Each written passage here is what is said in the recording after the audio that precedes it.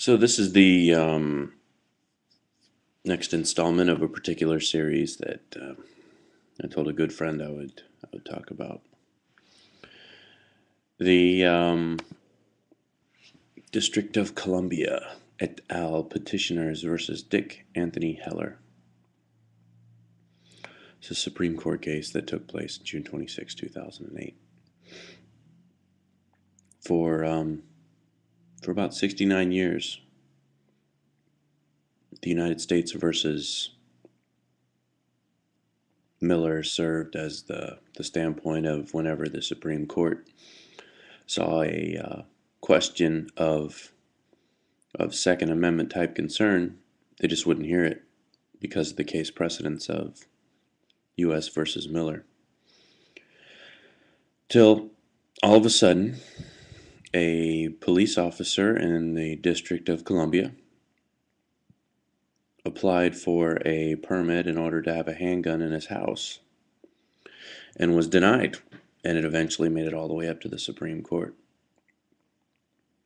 And the Supreme Court heard the case. It was um, it was really amazing.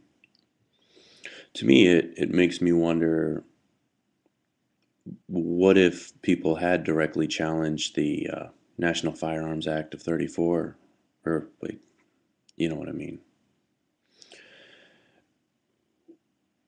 If somebody did have a machine gun that was, say, unlicensed, and they said, well, it's on constitutional grounds, cite U.S. versus Miller and say this is a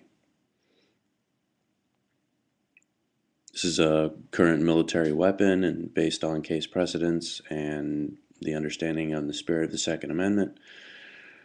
Therefore, the National Firearms Act of 1934 is unconstitutional in that it inhibits the ability of the citizenry militia to arm itself. Now, they didn't win that one, but in the case of uh, DC versus Heller, you could chalk it up as a win. Let me, uh, here's what I wanted to read to you. The Court of Appeals for the District of Columbia Circuit, construing his complaint as seeking the right to render a firearm operable and carry it about his home in that condition only when necessary for self-defense, reversed. It held the Second Amendment protects an individual right to possess firearms and that the city's total ban on handguns, as well as its requirement that firearms in the home be kept non-functional even when necessary for self-defense, violated that right. The court appeals directed to the district court to enter summary judgment for respondent. Um, within this uh,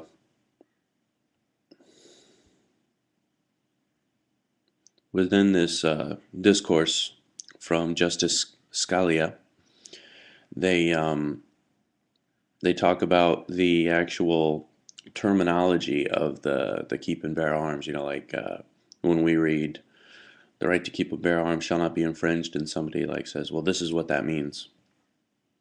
They get into the the grammar of it and the current understanding, and it's a very very good read, but it, it has stuff in it like uh, relationship between prefatory clause and operative clause, and it, it's grammatical stuff, and it's it's damn near enough to make you cross-eyed.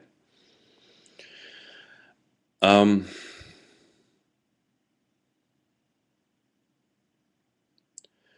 what's cool though has to do with, uh, and let me see if I can find it again. Um, okay, here's what I wanted to share with you. Two, two more things on this. We know of no other enumerated constitutional right whose core protection has been subjected to a freestanding interest-balanced approach. The very enumeration of the right takes out of the hands of government, even the third branch of government, the power to decide on a case-by-case -case basis whether the right is really worth insisting upon. A constitutional guarantee subject to future judges' assessments of its usefulness is no constitutional guarantee at all. Constitutional rights are enshrined with the scope they were understood to have when the people adopted them. Whether or not future legislatures, or yes, even future judges, think that scope too broad, we would not apply an interest balancing approach to the prohibition of peaceful neo Nazi march through the Skokie. The First Amendment contains the freedom of speech guarantee that the people ratified, which included exceptions for obscenity, libel, and disclosure of state secrets, but not for the expression of extremely unpopular and wrong-headed views. The Second Amendment is no different. Like the first, it is the very product of an interest balancing by the people, which Justice Breyer would now conduct for them anew. And whatever else it leaves to future evaluation, it surely elevates above all other interests the right of law-abiding, responsible citizen to use arms in defense of hearth and home. Um,